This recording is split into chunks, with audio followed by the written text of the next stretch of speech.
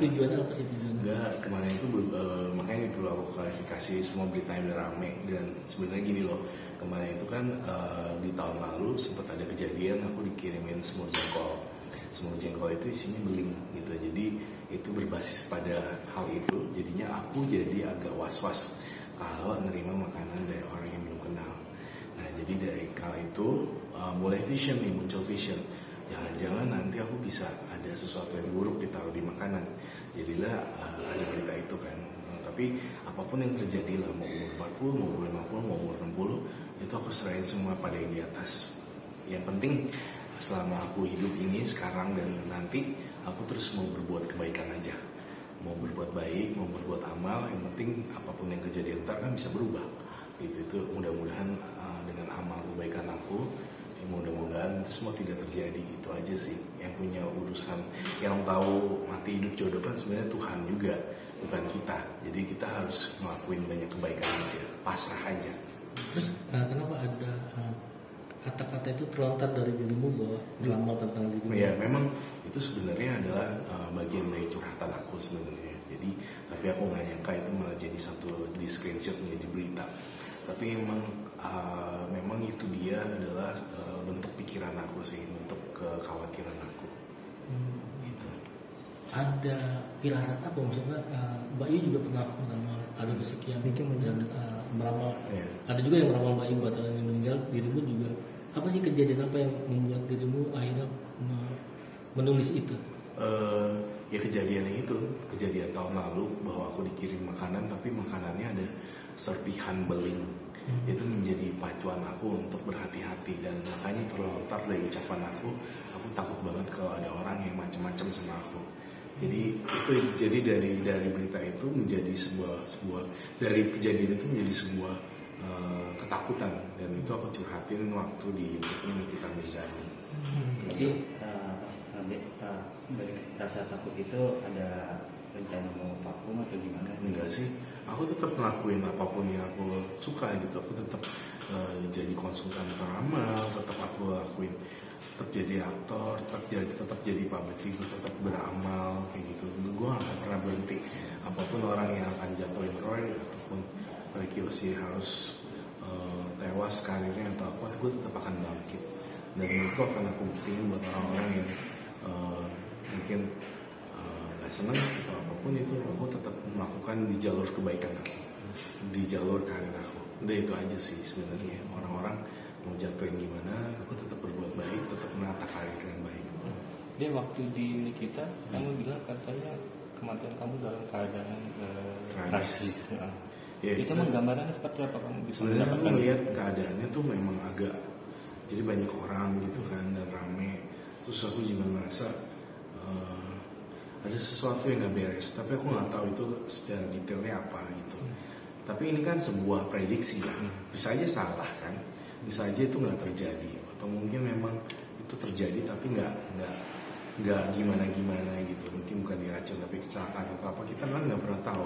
Kalau kita udah banyak melakukan perbuatan baik ntar kelak kita nggak akan mungkin akan dihindari dengan perbuatan ya, dihindari dengan kejadian-kejadian itu kan Jadi dari setahun lalu kamu mendapatkan kelebihan itu selalu ada terus eh, datang ke Eh, mimpi atau apa hari-hari gitu. selalu datang terus selalu terngiang-ngiang di kepala aku ini akan terjadi ini ini akan terjadi ini akan terjadi ini dan ya apa yang terjadi di Indonesia waktu itu juga kan aku ngeramalin beberapa kejadian kan seperti eh, adanya waktu itu tahun lalu atau tahun berapa ya tahun ini ya pemboman di Makassar di salah satu gereja itu kan juga aku udah ramalin ada sesuatu ledakan yang besar ternyata eh, ada minyak yang meledak ya kalau nggak salah waktu itu ya.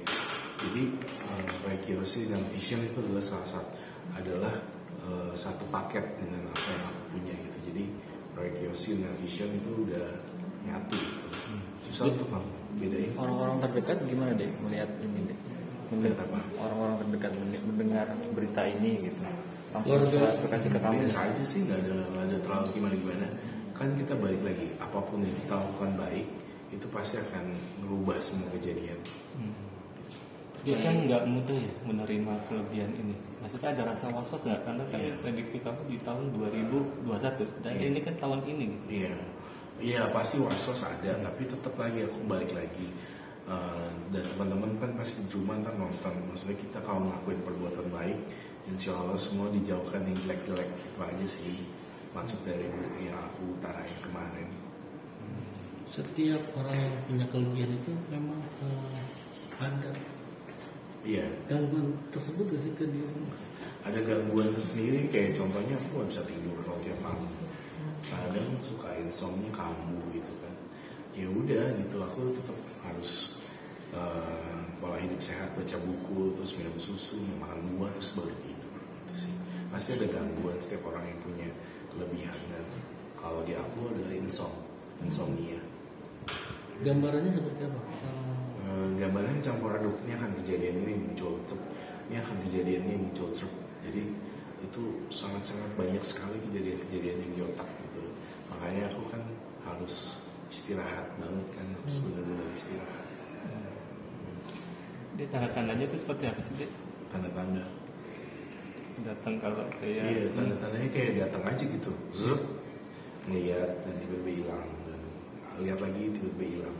Seperti itu tapi sepotong-sepotong gitu. Sepotong gambaran sepotong gambaran sepotong gambaran. Tapi kalau dijauh gabungin satu demi satu itu kayak jadi satu cerita gitu. Tapi yang diterima di kepala aku dan di otak aku tuh cuma sebagian doang. Gambaran ini gambaran ini gambaran ini gitu.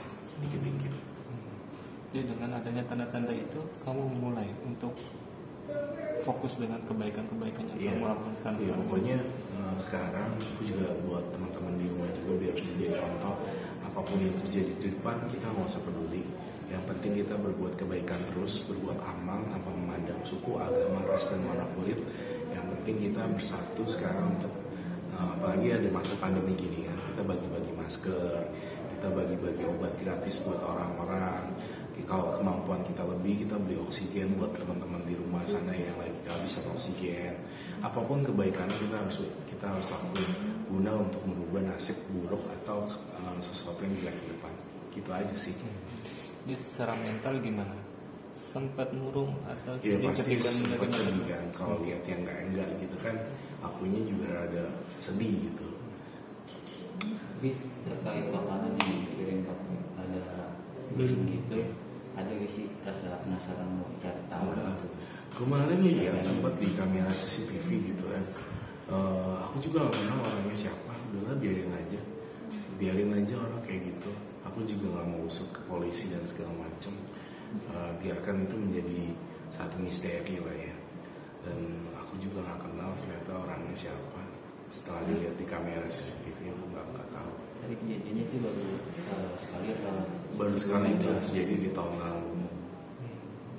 Gambaran-gambaran itu ada angka-angka yang tertulis gitu. Enggak nggak ada. Masih belum ada. Masih belum kelihatan. Oke. Dia satu lagi kenapa sih kamu meyakinkan itu di 2021 dari gambaran kamu? 2021 kenapa? Eh, kayak mencekam banget gitu Hmm. kondisi Oh iya kita kan situasinya lagi nggak bagus kan ada varian delta baru ada pandemi ada ini jadi ya kita harus jaga diri baik-baik gitu makanya pesan aku apa pun yang terjadi pada kita atau keluarga kita akan sesuatu yang jelek udah nggak apa-apa. Kita yang penting lakuin kebaikan yang tadi bagi-bagi oksigen bagi-bagi masker bagi-bagi obat gratis itu aja sih. Karena situasi 2021 juga masih belum aman kan? Maksudnya belum amannya eh, situasi pandemi ini virusnya masih banyak gitu. Jadi mudah-mudahan ini cepat berakhir. Itu aja sih. Hikmah yang didapat dari hikmah dari dapat dari apa eh, Dari pemberitaan itu. prediksi kamu mendapatkan Hmm. kelebihan itu. hikmahnya apa ya? Aku harus terus berbuat kebaikan terus itu aja yang aku aku lakuin. Punya prediksi gak sih kalau covid ini bakal selesainya tuh kapan? Hmm, belum tahu sih. Cuma aku berharap semoga secepatnya. Kasihan teman-teman di rumah sana. Juga banyak kehilangan pekerjaan kan. Dan beberapa usaha juga kan lagi sepi kan jadinya. Moga-moga ini cepat berakhir. Moga-moga November cepat berakhir. Nah, insomnia yang kamu alami sendiri sudah mulai menurun kan membaik Masih, sih? masih tetap sama insomnia tetap masih masih belum baik juga gitu. Itu harus benar-benar terapi dengan hipnoterapi juga sih. Tapi dari yang dari yang kemarin maaf yang RSKW itu dikasih obat atau? Pasti. Jadi eh, aku harus dikontrol dengan psikiater terus gitu. Jadi tidak menutup kemungkinan memang eh, kehidupan aku itu harus didampingi terus diredam dengan kontrol oleh psikiater yang tepat. Nah makanya aku selalu didampingi oleh psikiater yang hebat gitu untuk eh, meredam segala penyakit bawaan aku. Misal insom